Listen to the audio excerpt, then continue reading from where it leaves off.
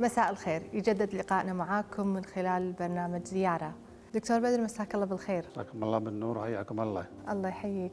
دكتور عادة أنا في بداية حلقاتي أحب أبتدي مع ضيفي من بداية حياته بالطفولة وإن كانت المنطقة تتشابه لكن الأحداث تختلف. فلو بقول لك كلمني عن جبلة شنو تذكر منها؟ والله ال- يعني الحياة ال- في- هالمناطق جبلة وشرق آه، ذكرياتها يعني كثيرة وعديدة و- وسعيدة لما أتذكرها الآن بس في في وقتها كانت آه، ذكريات مؤلمة آه، بسبب صغر السن. يعني أنا عشت في في فترة آه، آه، جبلة آه، مدة يمكن ستة وسبع سنين. لما صار سبع آه، عمري سبع سنين انتقلنا عاد إلى منطقة كيفان. ف فكانت يعني هذه مرحلة آه، مرحلة الشقاوة مثل مثل أي آه، طفل آخر. آه، كنا ال ال يعني ال آه، أنا أتذكر كان كان يم- يمنا دكان بقالة وصاحبة جفيف. ما يشوف. فكنا بذاك العمر نودي له حدايد مو فلوس حدايد آه حدايد إيه. فهو ما شاء الله يكتشفها بس ما ي... ما ي... ما يتكلم معنا ما يقول لكم شيء. يعطينا اللي يعطينا النبي و... ومع أي. السلامة. لا إحنا إحنا زودناها معه. يعني تعددت ال- ال- ال- المرات هذه. بنته واشتكت عندنا في البيت إن فلان قاعد يشتري ال ال ال هذه الكاوكاو وال- والحلاوه وال في حدايد ما هي فلوس. أي فتنت عليكم. ف واصبح يعني هو عنده بقالة ولكن جارنا يعني كان وأولاده كانوا من أعز أصدقائي. في في تلك الفترة. آه، يعني الآن انقطع التواصل بين بيني وبينهم. طبعا اغلبهم آه، توف- توفاهم الله. آه، بس الموجود آه، منو تذكر؟ والله أذكر آه، ولد صاحب البقالة أو جا- جارنا يوسف المزيد آه، موجود. يعني بس ما في تواصل يعني. آه، اشوفه بالصدف. آه، الآن هو متقاعد. آه، يعني أنا ال- ال- الاصدقاء ذيلا حتى لما كنا في في تلك المرحلة واللي واللي بعدها.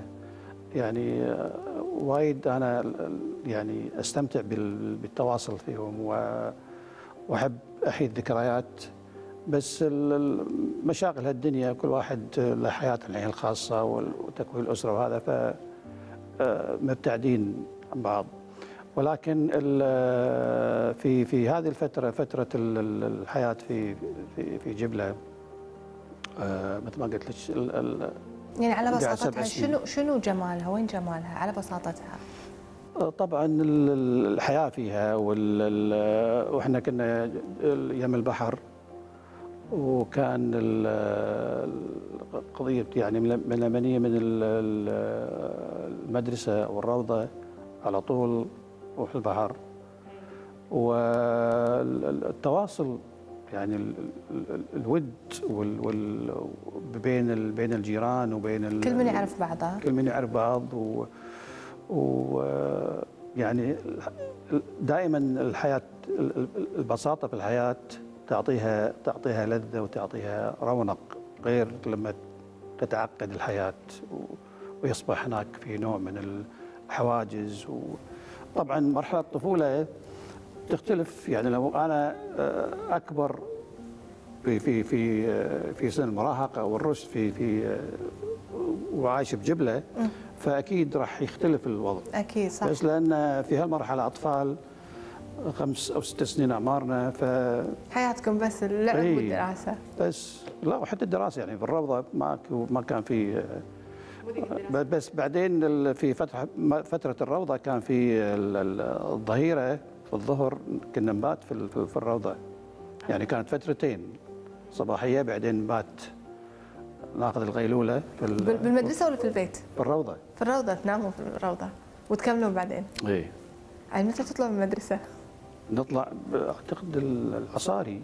أي. يعني على حدود آه، الساعة ثلاث. تشوف تشوف شنو شنو فادتكم يعني هذه الفترتين؟ آه، شخصياتكم يعني كان عندكم وقت فراغ ولا لا؟ فترة الفراغ عاد تجي بعد ال- بعد المدرسة. مم. يعني لا أقصد الفترتين هذه مالت ال- آه، قعدتكم في المدرسة فادتكم شيء؟ آه، أكيد. شنو؟ يعني فادتنا بال انه وا- وايد ال- ال- ال- كان في ألعاب كثيرة. و- وهذه الفترتين حدتنا من أن تزيد حدة الشيطانة برا المدرسة. أي. فإني منهكين. ولكن لابد قضية ال- صح. إنك ال- تتجاوز ال- ال- القوانين والأعراف هذه لابد منها في المرحلة هذه. ولكن ال- ال- الفترتين كانت ال- لأن ال- ال- الحياة كانت ما في يعني ما في ترفيه أصل في ذاك الوقت نعم. الا البحر. فكانت هي المدرسة الفترتين حافظتنا من العبث برا برا المدرسة. نعم. بس اللي عارفك عن قرب دكتور يقول إن أنت آه، كنت طفل عنيد جدا. والله هذه من صفات البرج. يعني ال- ال- العند فصفة العند هذه استمرت معي إلى يمكن مرحلة النضج خلينا نقول 30 آه، 40 سنة استمرت لذاك الوقت يعني إيه. نادك نقدر. نقول في قراراتك بعد. وبعدين شفت موضوع العند أو تيبس الرأس آه، طلع علي رد يعني ما في فايدة ما كنت أجني منه فايدة بل بالعكس مضرة لي ف شنو طبيعي إني تعاند. يعني في قراراتك في اختياراتك؟ كنت أتمسك برأيي. وما يهمك صح أو غلط بس المهم اي تمسك تمسك برأيي. الآن اختلف يعني حتى اللي اللي يعرفوني وأهلي اختلف معهم يعني بدر اول وبدر الحين في قضية تمسك بالراي وبنتك الله يحفظها نفس طبعك. نفس نفس الطبع. بالعناد الآن يعني مع مع التوجيه مع ال ال ال ال الكلام معاها في قضية العناد ما العناد شوفها تتقبل يعني ان إن هذا ما راح يعود بالفائده قدرت تقنعها؟ نفس المعاني دي. بس موجودة موجودة هالصفة هذه. فأنت حضرتك و- تقبلت يعني- عناد فيها؟ إي والكثير من الناس لما تكون عندهم هالصفة هذه ال- يعتقدون أنها تعطيهم صفة القوة. وهو وهذا اعتقاد خاطئ. وأنا وأنا يعني أنا اكتشفته مؤخرا يعني سن ال سن الأربعين. أن ال- مو صحيح أن ال- أن صفة العناد هذه تعطي الشخصية قوة. عايش بل بالعكس تعطي مضرة. مم. لنفسه. يعني اي تعطي مضرة و... و... ودائما يعني ال- ال- التجارب اللي مرنا فيها سواء أنا أو غيري اللي عندهم هالصفة هذه دائما يوصلون إلى أن هذه القضية صفة العناد أو تيبس الرأس أو. أو التمسك بالرأي إذا كان صحيح أو خطأ ما ما في جانب إيجابي أو فائدة للشخص وبنتك الله يحفظها منوى نعم آه، بينكم لغة حوار ومناقشه ربيتها على هالشيء كثير يعني آه، خصوصا في العمل في مجال العمل خصوصا في آه، مجال آه، يعني صديقاتها سفر. تشاركك في كل شيء كونها الوحيدة. نعم نعم. وهي مش مش كونها بس الوحيدة بس يعني أنا يعني أنا وغيري وكثير منا إن لازم تص- تصادق أولادك يعني. يعني ما تعتبرهم آه، بس أبناء وأنت وأنت الأب ولازم تفرض عليهم آرائك كلها. أنت الموجه في إيه. في حياتهم. ولكن يعني الظل هي آه، أنا أشوفها أن شخصيتها أقوى مني. شلون من أي عند ناحية؟ الان في في تمسكها برايها في تمسكها لحد الآن يعني قضية العناد هذه ملتصقة فيها لحد ما خفت نعم وحضرتك أيضا وحيد آه، والدينك وبنتك وحيدة فنقدر نقول في تشابه في لا أنا عندي أشقاء يعني أنا من أبوي أنا الوحيد مم. بس والدي تزوج أخرى. وعنده أبناء منها. يعني مجموع أشقائي آه، 18 واحد. 18 من ثلاث نساء. نعم. ومنو الأ- الأقرب لك منهم؟ الأقرب لي الكبار. أنا أنا والدتي هي الثانية. مم. فتعتبر أنت بعد أخوهم الكبير. لا ال- اللي أقرب لي. هو اللي, اللي أكبر الكبار. منك. آه، اللي أكبر منك. أكبر مني. في طبعا في فيهم اثنين توفوا الله يرحمهم فه فهؤلاء هذيل قراب مني وايد. ونلتقي كل بالأسبوع مرة الاثنين في. في ديوانيه مو هذه ديوانية أخرى. وعلاقتي معاهم يعني وايد قريبة و يعني ملتصق فيهم ودكتور آم، الوالد والوالدة تعليمهم في ذاك الوقت يعني هو كان بسيط لكن حضرتك تفوقت في دراستك فوين تشوف السبب؟ هل هو منك ولا من توجيه منهم؟ لا يعني أكيد أكيد ال- من توجيه منهم يعني ولكن ال- دائما ال- ال- الآباء الغير متعلمين الصفة هذه أو أو هذا التوجه ما ما يعني ما يستمر لأولادهم. صحيح ان إن ابائنا غير متعلمين ولكن كانوا يحثونا على الدراسة.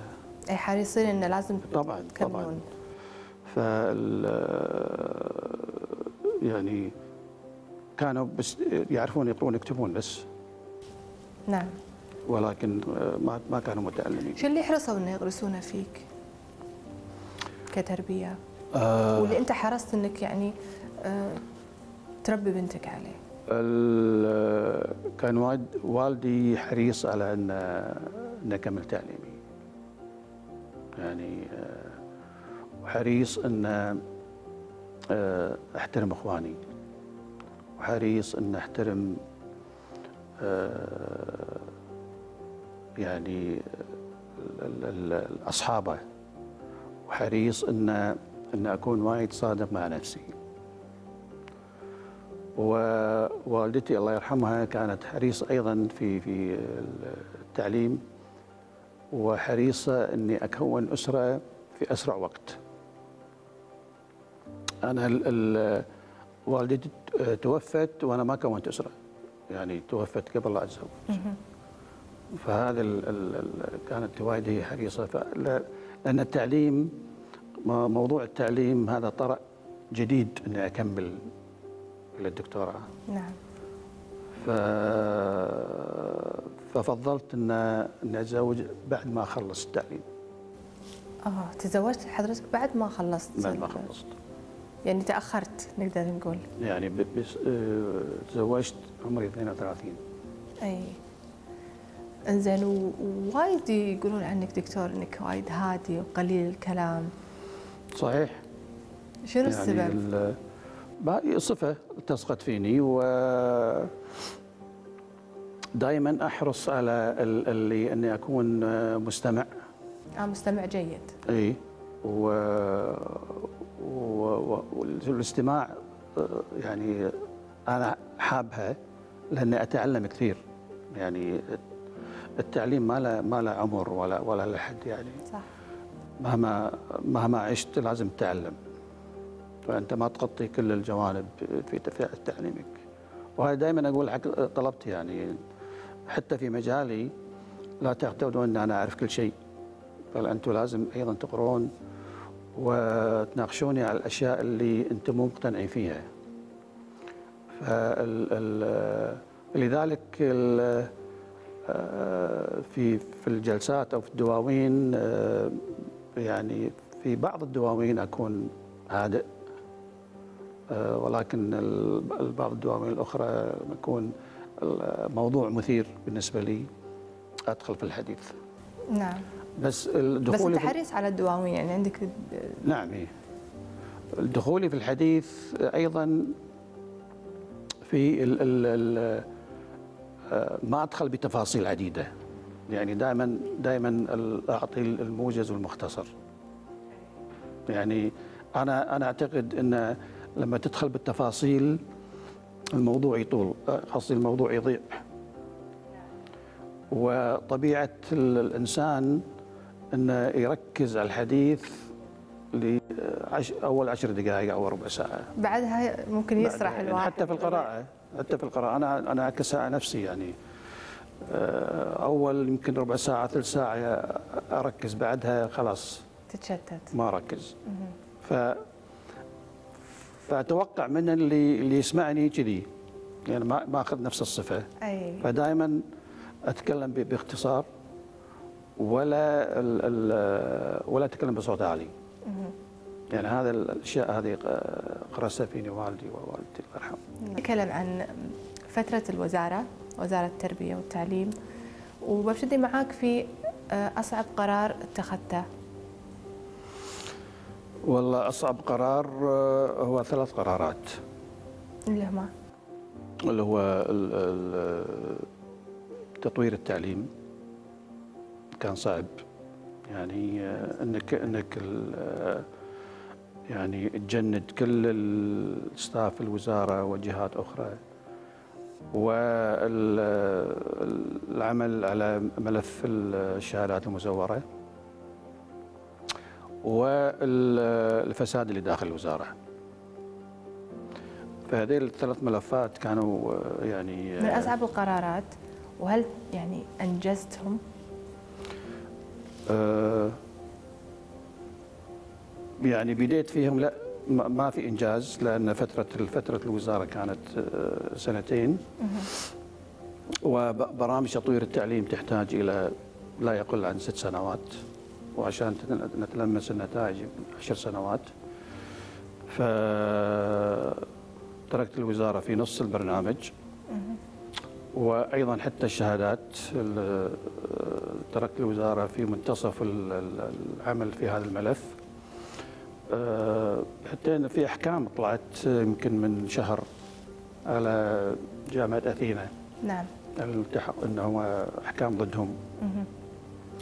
ولكن ال- في أعداد مهوله يعني آه، يعني تحتاج يحتاج هذا الملف إلى شخص متفرق لهم. ولان آه، الكثير من القضايا آه، يعني في في وقتي كان اكتشفنا بحدود أكثر من 400 شهادة مزورة.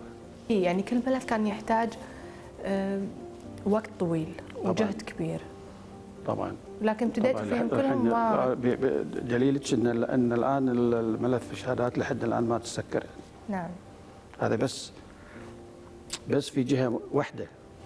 يعني أنا لما لما لما فكرت في قضية الشهادات المزورة لما عرضتها على مجلس الوزراء طلبت من من زملاء الوزراء أن لازم تتجهون هذا الاتجاه لأن ال- الشهادات مو بس مو بس وزارة التربية أو الجامعة أو غيرها. نعم. إحنا اللي علينا اللي اللي سوي اللي اللي سويناه أن أي خريج لازم يعتمد شهادته عند ال- التعليم العالي. صحيح. بالسابق ما كان موجود ما كان موجود. كل واحد خريج يروح يشتغل و- وحتى ال- ال- ال- الغير الكويتي سواء كان طبيب ولا مهندس ولا غيره تطلب الجهة ويروح يشتغل الآن حطينا النظام إنه لازم آه، يعتمد من لذلك أنشئ جهاز الاعتماد، جهاز الاعتماد أنشئ قبلي. آه، وجهاز الاعتماد هذا مختص في اعتماد برامج الجامعات. نعم ال- اللي ال- سواء الدول العربية أو الدول الخارجية. ولكن ف ولكن لازم اي أي واحد حتى ال حتى ال- ال- المبعوث الآن لما يتخرج لازم نعتمد شهادته في التعليم العالي نعم. يعني ممكن لازم ياخذ موافقة مبدئية وبعدها هم يعتمد ال- الشهادة. نعم. طيب دكتور أنت قبل شوي قلت لي أن قبولك للوزارة كنت عارف أنك ما راح تطول فيها. ومع ذلك فتحت ملفات سعيت وهي تحتاج سنوات بس بالسنتين اللي كنت فيها وزير شو اللي قدرت تنجزه كإنجاز؟ يعني ابتديت فيه وكملته. ابتديت فيه وكملته. واستمر إلى اليوم أكيد. التعيين شواغر يعني لما استلمت في شواقر وايد فاضي خصوصا المدراء المناطق التعليمية.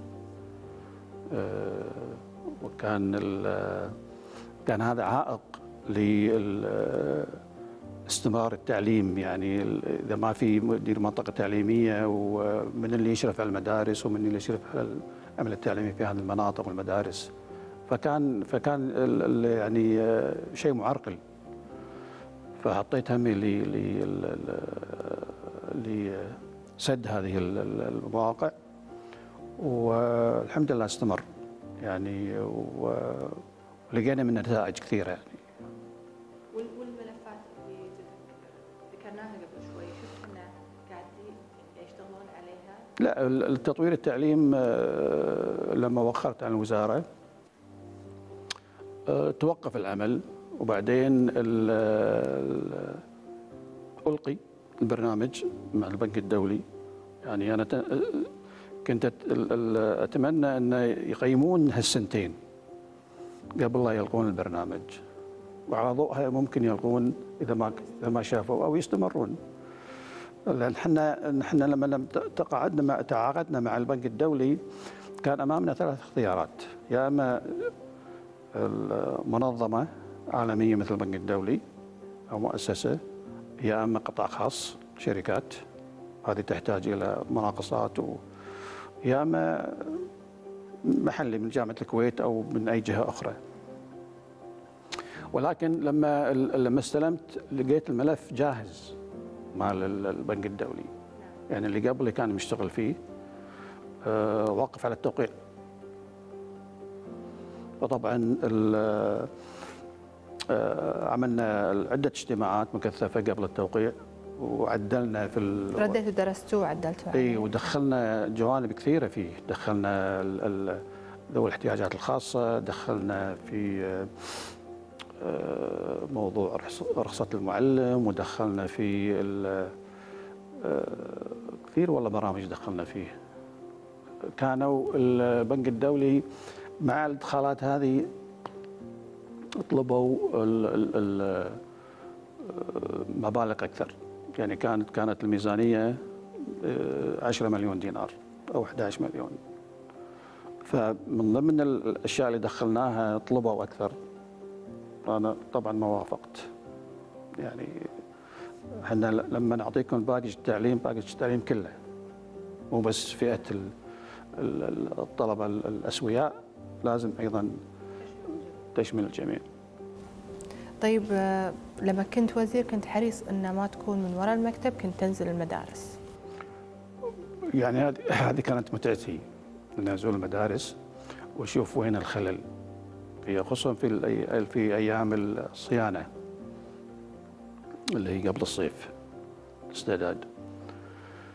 فما كنت أعتمد بس على الوكلاء ولا مدراء المناطق إنه يعطوني تقارير شفوية أو أو تحريرية أو على الورق فكنت لازم تنزل بنفسك. وهي مش قضية عدم ثقة ولكن ال ال إيه، يمكن العمل اللي اللي يعجبهم ما يعجبني. آه، لأنه وايد دقيق. فكنت أزور المدارس يعني آه، ودائما أبدأها بالمدارس المناطق البعيدة. وأخلي المدارس اللي داخل المنطقة يعني أخليها بالليل ساعات أروح بروحي أو أغلب الأوقات أروح بروحي و... وأنا مع الحارس. أي بس من ضمن زياراتك زرت صفوفك وقت الثانويه أعتقد أو المتوسطة؟ أي ثانوية الخيل ثانوية كيفان زرت وخيل بن أحمد خيل بن أحمد الابتدائية والمتوسطة اللي درست فيها. وثانوية كيفان اللي هي كيفان طبعا. هذه زرتها زرتها كذا مرة. شو اللي تذكرته لما شفت الصف؟ هو تذكرت الصفوف اللي أنا كنت فيها وتذكرت الملاعب اللي فيها وتذكرت ال- النحشة اللي كنا نحاش في وقت الفرصة عشان نروح ناخذ آه، آه، نروح المطعم. و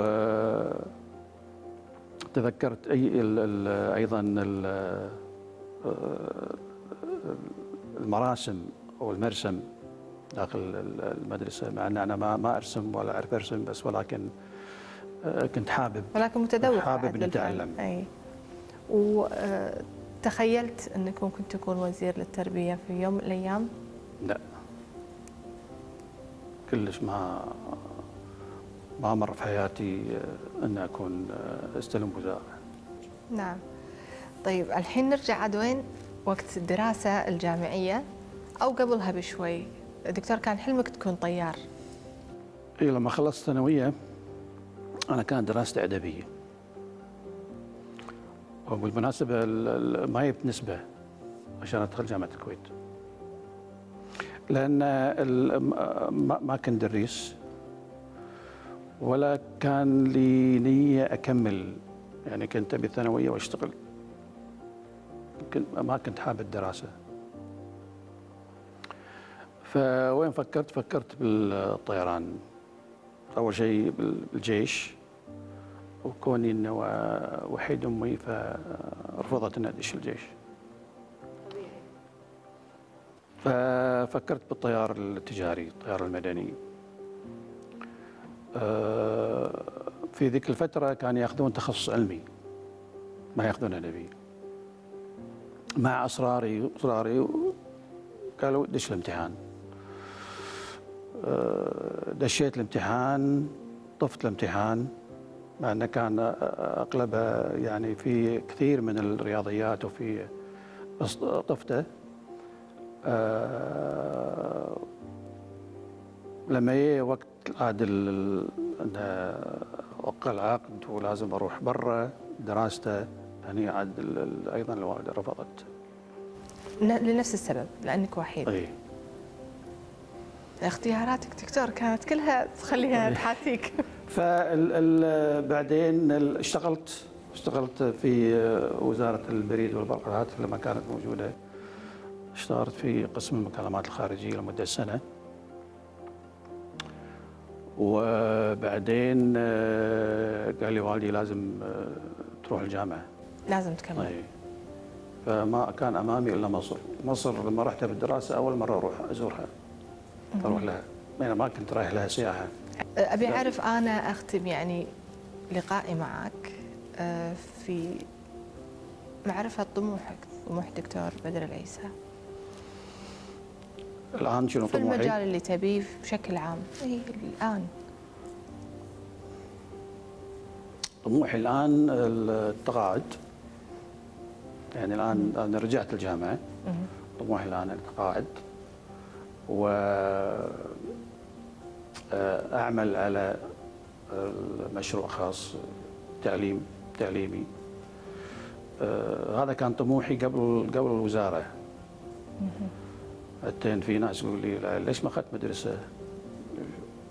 شلون اخذ مدرسة وأنا في- الوزارة؟ فهذا طموحي الآن طموحي إن آه، أكمل البرنامج اللي ما ما كملته بالوزارة. الرسالة اللي لازم توصلها إيه. فهذا طموحي قاعد وأتجه للعمل الخاص بمدرسه مدرسة نموذجية وإن شاء الله توصل حق هالطموح ونشوف هذه المدرسة. إن شاء الله. ودكتور بدر العيسى أنا سعيدة في لقائي معك وتشرفت اسعد فيك. إن شاء الله.